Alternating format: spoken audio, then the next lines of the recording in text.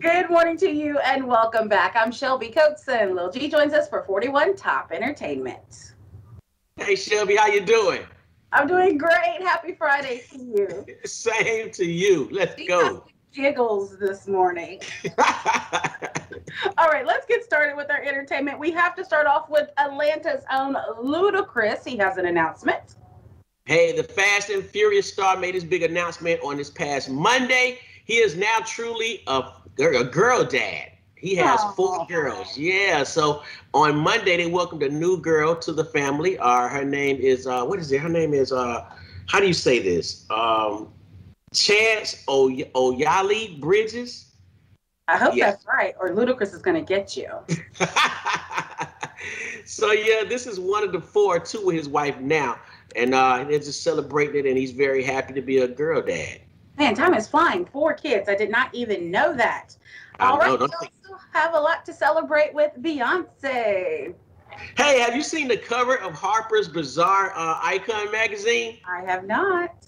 I'm telling you, you've been missing out on social media because Beyonce has been putting every fashion uh, picture that she has on the magazine on social media.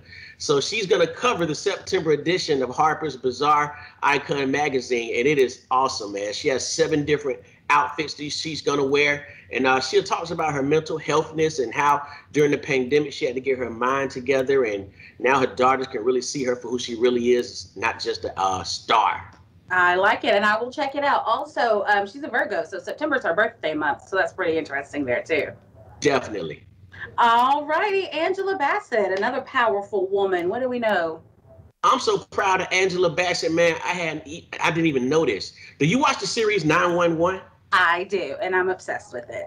I love it, man. Well, now Angela Bassett just signed a new contract, and she's the highest paid woman of color to ever make $450,000 per episode, Shelby. Kudos to her. She is amazing in that show. She's an ma- amazing actress, period. So I'm very happy for her. Hey, you think Brandon will give me four hundred and fifty thousand dollars per episode of the Entertainment Report? I will let you ask him about that. We'll have to wait and see.